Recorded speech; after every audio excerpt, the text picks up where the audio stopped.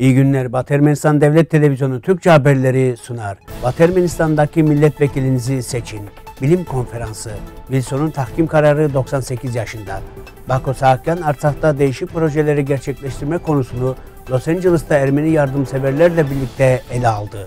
Putin-Erdoğan görüşmesi Konstantinopolis'te gerçekleşti. Afrin'de çatışmalar şiddetlendi. Harpert'teki Ermeni Kilisesi'ni restore için yaklaşık 2 milyon dolar gerekiyor. Batı Ermenistan'daki milletvekilinizi seçin. Batı Ermenistan Cumhuriyeti Ulusal Meclisi'nin parlamentosunun 2018 yılındaki ikinci seçimleri. Milletvekillerinin seçim propagandası sona ermiştir. Saygıdeğer vatandaşlar, Batı Ermenistan Cumhuriyeti Ulusal Meclisi seçimleri 22 Kasım'dan 30 Kasım 2018'e kadar gerçekleştirilecektir. Sürgünde diaspora topluluklarında, Kilikya'nın da içinde bulunduğu Batı Ermenistan topraklarında ya da Ermenistan Cumhuriyeti'nde yaşayan her Batı Ermenistan Ermenisinin Batı Ermenistan parlamento seçimlerine katılma hakkı vardır. Bu katılım Batı Ermenistan haklarına yönelik her Ermeninin asgari sorumluluğudur. Katılım yöntemi basittir. İlgili siteyi ziyaret edin. Önünüzde ilgili şu sayfa açılacak. Kırmızı renkli aday listesi linkini tıkladığınızda milletvekili adaylarıyla tanışacaksınız. Oy kullanma hakkını kazanmak için öncelikle kişisel bilgilerinizi girerek Batı Ermenistan vatandaşı olmalısınız. Ardından özgür seçiminize göre evet, hayır ve çekimser olan 3 seçenekten birini seçebilirsiniz.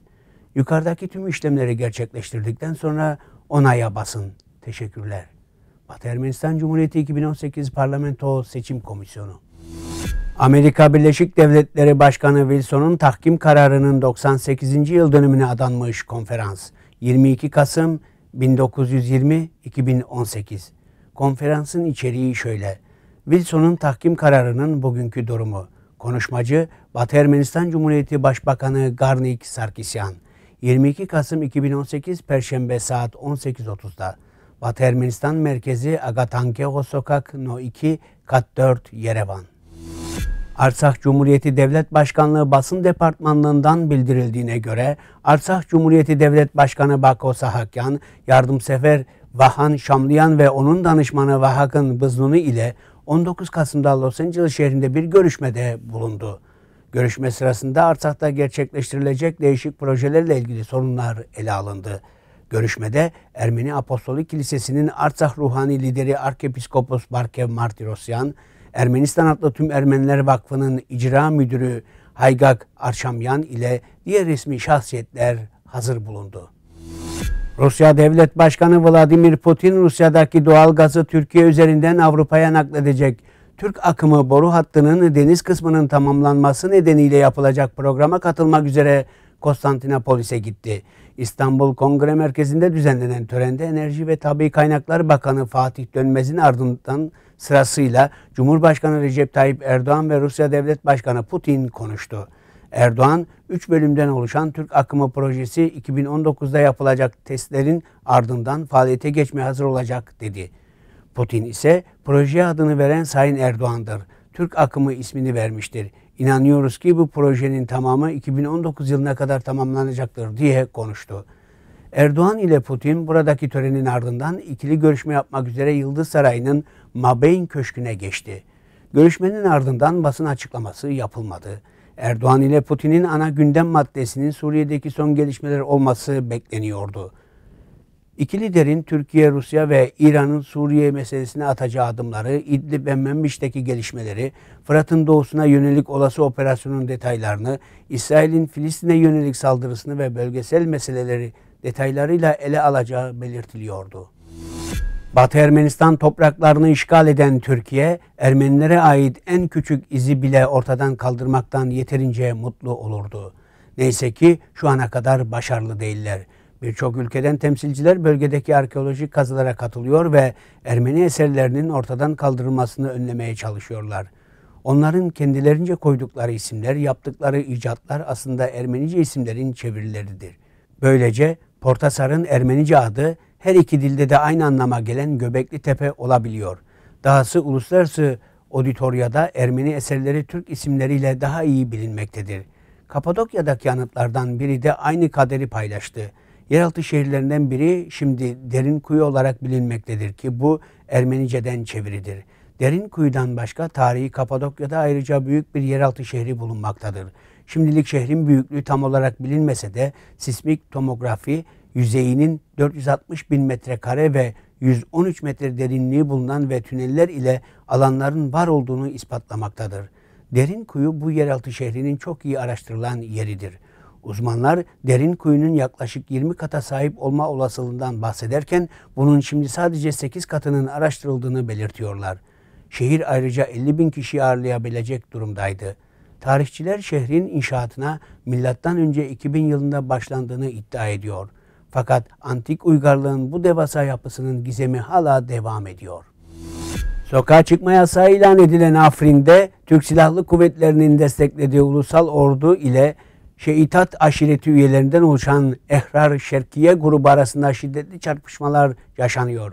Yaşanan çatışmalarda Türk Silahlı Kuvvetleri'nin de hava bombardımanı ile ulusal orduya destek verdiği öğrenildi.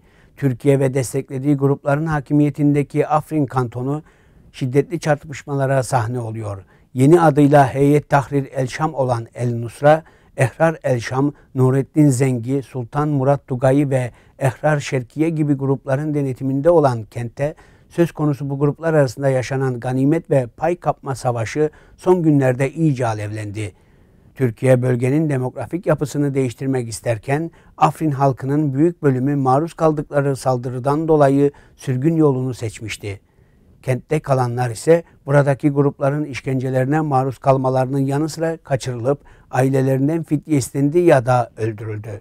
Bölgedeki pozisyonunu kalıcılaştırmak isteyen Türkiye, bütün Selefi ve radikal grupları bir araya getirip ulusal ordu adı verilen yapının altında birleştirmeye çalışıyordu.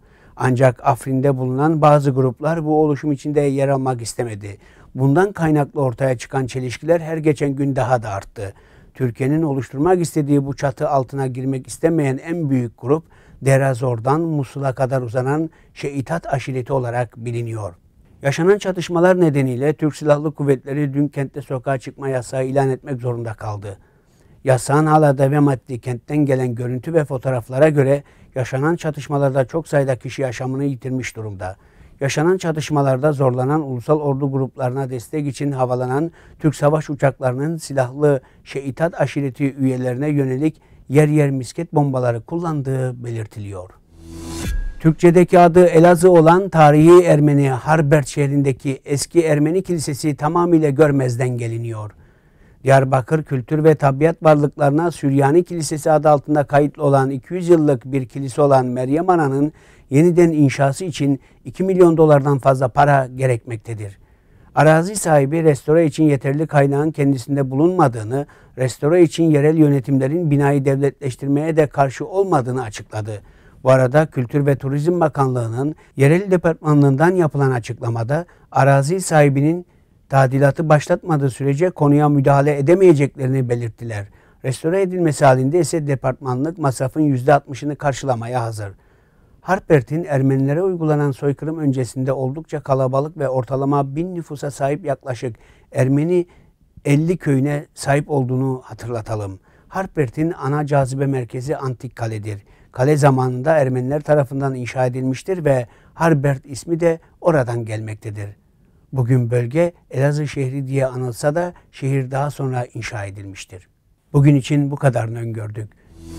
Şimdi size Maratuk topluluğu tarafından icra edilen Daron Bölgesi Şarkıları adlı eseri sunuyoruz.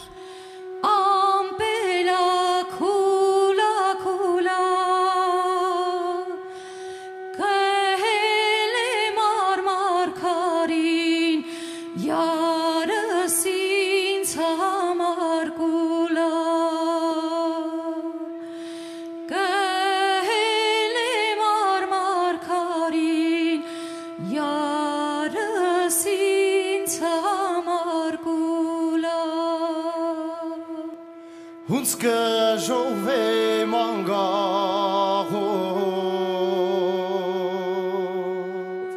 luz na que yarse akos akos mangalov siratzes har Eserin tamamını Batı Ermenistan Devlet Televizyonu'nun resmi sitesinden izleyebilirsiniz. Hoşçakalın.